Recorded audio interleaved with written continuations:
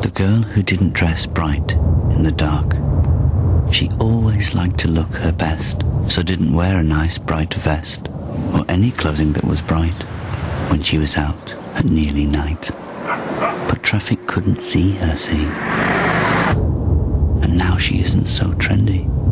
A car drove right into her guts and covered her with bruisey cuts.